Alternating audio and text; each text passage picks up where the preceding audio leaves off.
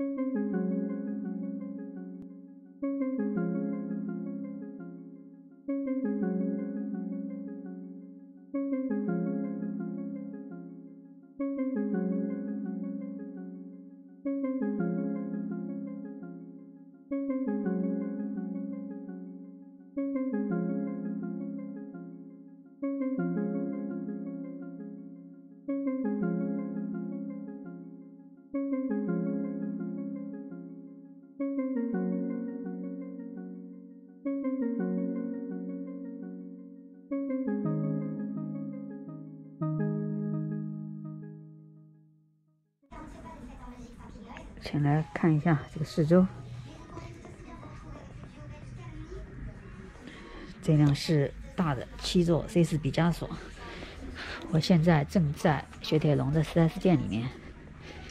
他们目前主打的中央放的这辆是全新的中期改款的 C3 Air Cross。你还别说，还挺好看的小车，改的还挺漂亮，这前脸改的非常的有特点。凹进去一块，那个进气三格下面和上面分开来的。然后现在呢新的这种家族设计语汇，这种大灯和那个人字形的那个徽标，像你那个镀镀镀铬条，正好连成一条线。这小车还我觉得还挺好的。你看这价格还特别优惠，价格还非常的表现非常好，两万二。这是 C 三，旁边是 E C 四 C 三，左边还有两辆 C 四。这个 C 四主打的是电动，还有那个普通燃油的。这个车性价比也是非常高，很有设计感，很漂亮，嗯，确实很漂亮。和那个凡尔赛，凡尔赛是 C 五嘛，这是 C 四。我我觉得这个特别好看，引擎盖在下面凹下去这一块儿，特别特别漂亮。从远处看的时候，感觉有一种肌肉感。然后从侧线条看过去的时候，C 四这个角度也特别漂亮。它这颜色红色和这个橘色，它们的主打色。刚才在最里面有三辆，有三辆那个 C5 Air Cross，我在里面坐了一会儿，两辆两辆那个 Hybrid Hybrid 那种版本，就是那种混动版本。然后这边这辆是那个普通燃油版的，1.5柴油的。我在里面第一次坐进去，之前来保养好多次，这个车已经上市有几年了，但是我从来没有坐进去过，一直都在外面看的。这个是。这个是一个二手的，原来，哎呦，二零二零年十二月一号的。哦，这不是二手，这也算是一手车，才三公里的行驶里程，半年嘛，相当于半年的库存。现在的价格是两万五啊，这价格也太低了吧，两万五，有个 Carbus，Carbus 就是一个官方第三方认证的，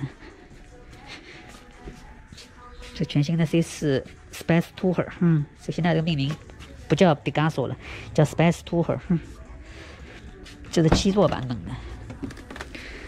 嗯，七座版本的，这下面是座位，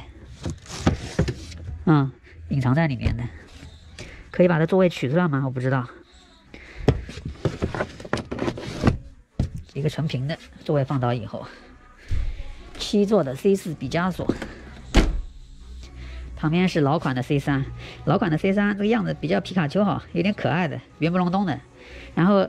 这两辆都是的，和这个新款的这个 C3 比起来，我感觉最大的变化主要还是前脸，它的尾部设计并没有变化，其他变化不大，主要就是这个前脸的变化脱胎换骨了，和和这和这个的，好像那个 C5 Air Cross 马上也中期改款了，过来看一下，我第一次坐进去 C5 Air Cross，这两辆都是混动版本 Hybrid，这价格太贵了，这个起价就要四万多 Hybrid 版本，哦，不过它这个是低配版本的。是低配版本的，那没有旅行价的那个车，只有三万六，油耗是一点四，一点四升。哦，这里面是它的选配件，accessory。啊，这是那个刚才那个顶置行李架、备胎这些东西，这是它的一些可选的选项。但这个车是一个低配车型，hybrid 车型最大的这个就是一点四升的排量。刚才我坐进来了一下。这个车还是真皮的嘞，也是它很大的一个特色和卖点。我能感受到这个门关门的这种厚重的声音，这密封性特别好。一关上以后，感觉外边的那种世界那种声音一下子就被隔绝了。这车是这车也不是高配的，因为也没有旅行架。高配的车至少有个旅行架，旁边这是普通燃油版的带旅行架的，这两辆都没有旅行架。嗯，然后你看没有旅行架，有点丑。这个车没有旅行架，感觉有点丑了。但是这个配置挺搞笑的。但是它这个座椅竟然是用真皮的，反正就皮革的吧。然后很多人那个车评都提到这个这个方块，就是这个坐垫的舒适性，呃，评价非常高。我是第一次坐进来，看一下，我是第一次坐进来。反正我刚才坐好了以后，感觉确实蛮舒服的，就是这个座底的这种弹性，非常的非常的 Q 弹这个座位。然后你看看这个下面的这个空间，SUV 我已经很久很久没有坐过或者开过了，感觉这个还是空间有一点局促啊，有点有点挤的那种感觉。就中间这个地方，到这地台倒是平的，但中间这个地方离得比较近，和这中央扶手，它这有个 USB 加这个出风口。哎呀，它门口有一辆私家车，也是这个混动的。也是这个混动的车型，但是我这个车的话，像我换车的话，基本上没有考虑过混动版本，混动版本太贵了。你买一个就中高配的话，起价基本上就在四万欧，这个价格非常贵。但普通的燃油版本的起价只要两万五，因为我们走的是那种 leasing 的方式，嗯，要牵扯到很多因素。这种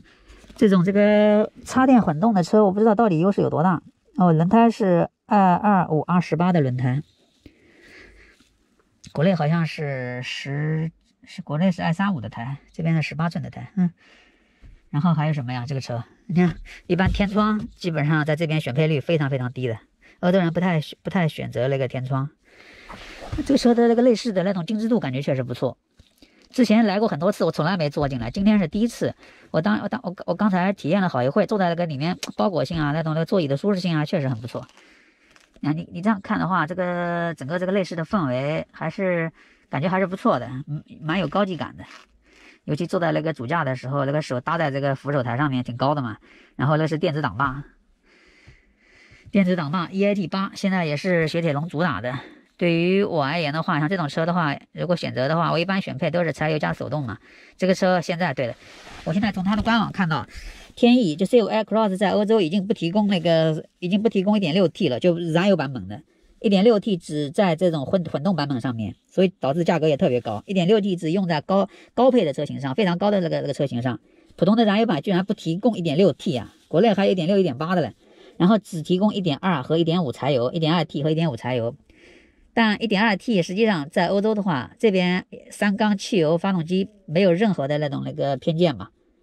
我看那个那个，我在油管上搜了一个 1.2T 的这个发动机，实际上动力特别强。有一个那个那个测试那个极速的，在那个德国高速上，1.2T 啊，可以开到那个那个表显可以开到超过两百两百公里时速了。实际那个用 GPS 测的话，那个表显是两百多，好像实际已经达到一百九十六、一百九十八这样的了。所以那个动力非常强劲。虽然是小排量那个三缸增压的，但是动力也非常强劲。难怪那么多年获得大奖，的确很厉害。而且 P S P S I 集团的话，目前。也是在主推这个一点二一点二 T，包括那个五零八到了那个 B 级车五零八，它基本上入门的全部都是选用那个一点二 T，只有在那种最高配上面才给你配一点一点六 T 的，所以确实可能要转变一些观念了。而且近这两天看了个新闻，什么奥迪已经开始说从二零二六年就不就不生产那种那个燃油车了，因为欧盟七七欧七的这个排放法规也要快要实实施了，你就感觉这种这种这种纯燃油时代很快就要结束了，这个。已经就是迫在眉睫的那种感觉，就没几年了。早几年的时候，可能大家还没感觉，我们还在鄙鄙视那些三缸，但实际上对欧洲这边的话，的确小排量增压已经渐渐的成为主流了。燃油时代感觉很快就要消失了，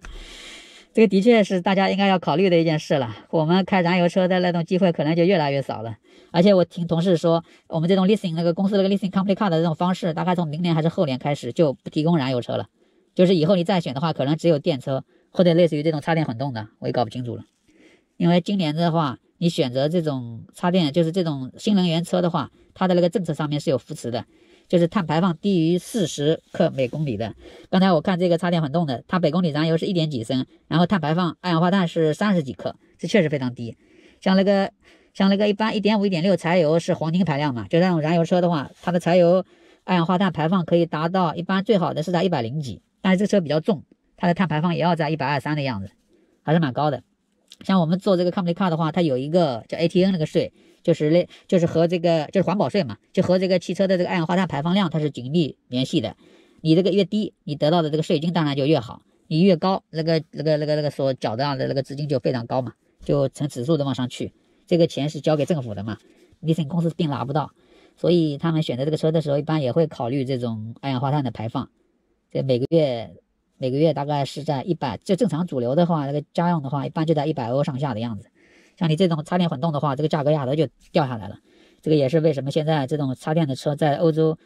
就是这种新能源车在欧洲为什么这么流行嘛？这个大环境确实使然，让整个社会的整个，因为它是一个体系工程，从个企业到个人到方方面面，到这税税收，包括那个制造那个企业厂，在这主推的这种，你能感受到他们的这种这种政策的倾向性对这一个一系列环节下来的影响。哎，我现在就走出这个店啊，再看一下这个新改款的中期改款的这个 C3 Aircross，这个颜色确实不错，这个叫什么一个灰，还挺好看的。看一下它的外面，这试驾车，这是纯电的 C 四，这个就刚才那个试驾车，这是那个插电混动的，插电混动电子挡把的。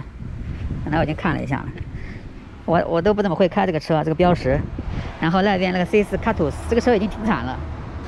然后又是一个新 C 四，又是个纯电的，这都是那个，这都是那个什么，都是那个。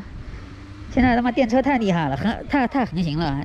现在都在都在推这个电电的，看下燃油车的这种这个时代真的快要过去了。有时候想想也挺挺吓人的，你都不知不觉的我们就要迈入这种电气化时代了。感觉